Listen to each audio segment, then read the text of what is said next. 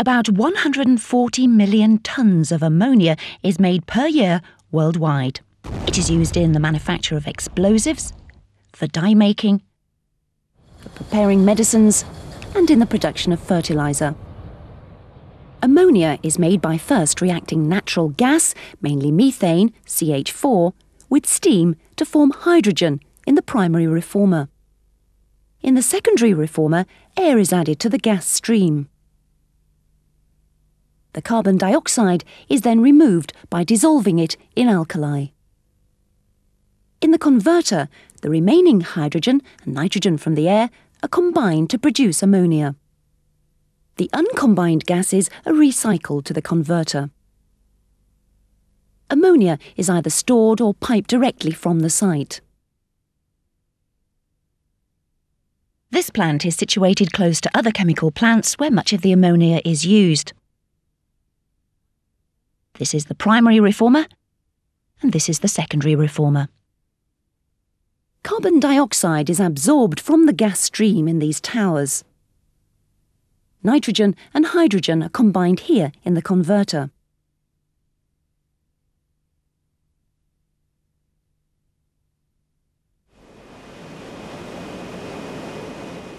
Natural gas, which is about 90% methane, is piped from the North Sea and fed to the plant through a pipeline.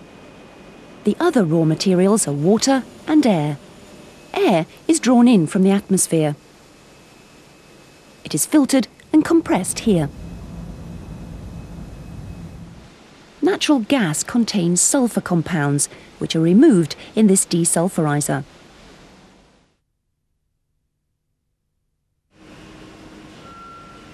The sulfur-free gas is piped to the primary reformer where it reacts with the steam.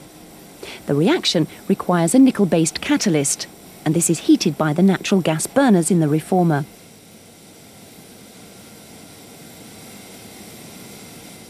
The reaction in the reformer produces heat. Methane and steam react to produce carbon monoxide and hydrogen.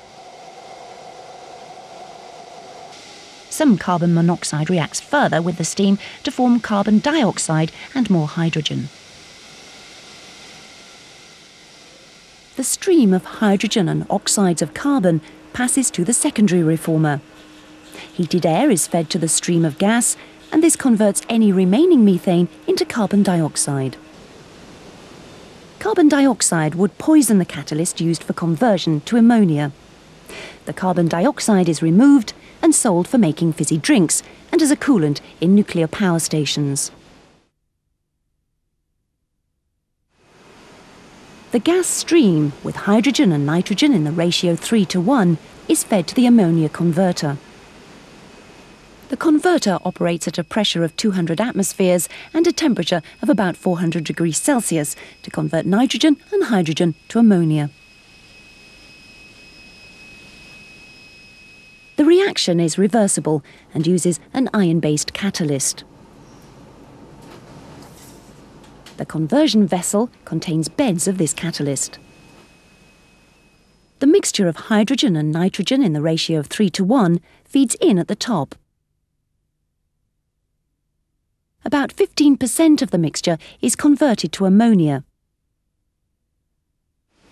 The hot gas stream containing ammonia, hydrogen and nitrogen is cooled to about minus 10 degrees Celsius and compressed. Ammonia condenses out as a liquid. The remaining nitrogen and hydrogen are recycled back to the converter with fresh gas mixture. This is the control room of the plant. Ammonia can be transported in tankers as a liquid under pressure or piped to nearby plants.